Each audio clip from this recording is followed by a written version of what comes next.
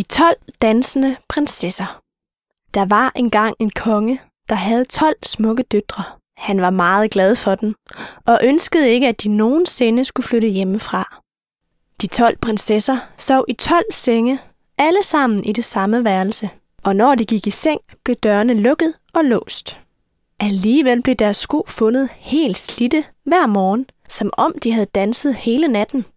Kongen kunne ikke forstå, hvordan det gik til, så han sagde, at hvem der end kunne finde ud af, hvor prinsesserne tog hen for at danse, kunne gifte sig med en af dem og blive konge. Men det var der ingen mand, der kunne. En dag kom der dog en ung soldat til byen, som var blevet såret i kamp. Han læste om dusøren og tog straks afsted til slottet. På vejen mødte han en gammel kone. Han fortalte den gamle kone, at han ville afsløre, hvor prinsesserne tog hen for at danse – Ja, så, sagde den gamle kone. Du ser ud til at være en god mand. Sørg for ikke at drikke noget vin, og tag også denne magiske kappe med, som vil gøre dig usynlig. Soldaten takkede den gamle kone og fortsatte på sin vej. Da han ankom til slottet, blev han budt velkommen, og man gav ham fint nyt tøj og et værelse ved siden af prinsessernes. Lige som han skulle til at lægge sig, kom den ældste af prinsesserne med et glas vin, men soldaten hældte det ud i al hemmelighed. Så lagde han sig på sin seng, og lidt efter begyndte han at snorke meget højt, som om han sov tungt. De 12 prinsesser lå, da de troede, han havde taget soveelixieren, som var blandet i vinen. Så tog de alt deres fine tøj frem og klædte sig på ved spejlet, som om de var ivrige efter at komme til at danse.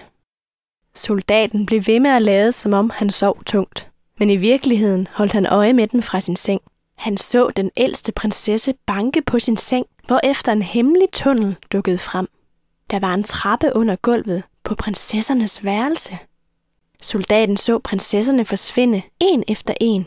Så hoppede han ud af sengen og tog den magiske kappe på, så han kunne følge efter dem uden at blive set. I sin hast kom soldaten til at træde på den yngste prinsesses kjole, for hun var den sidste, der gik ned ad trappen. Nogen trådte på min kjole, klagede hun sig. Sluder, svarede søstrene. Der er jo ingen bag dig.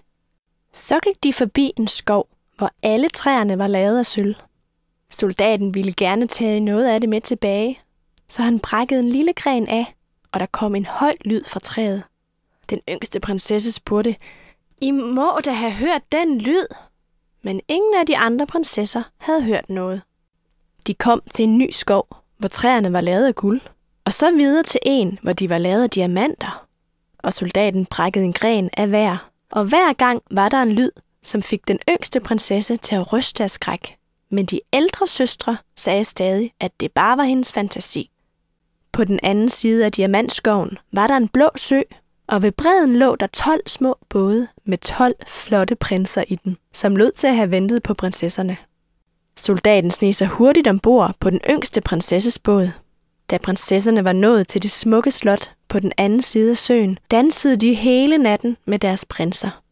Sidst på natten roede prinserne prinsesserne tilbage over søen, med soldaten i den yngste prinsesses båd endnu en gang.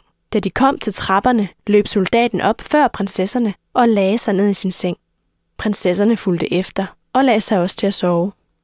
Om morgenen gik soldaten til kongen og viste ham sølv, guld og diamantgrenene, og tog ham med ind i værelset og viste ham den hemmelige trappe.